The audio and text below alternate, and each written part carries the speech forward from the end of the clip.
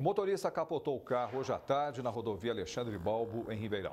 Segundo a polícia rodoviária, o homem perdeu o controle da direção ao bater na lateral de outro veículo quando acessava a pista, perto do bairro Heitor Rigon.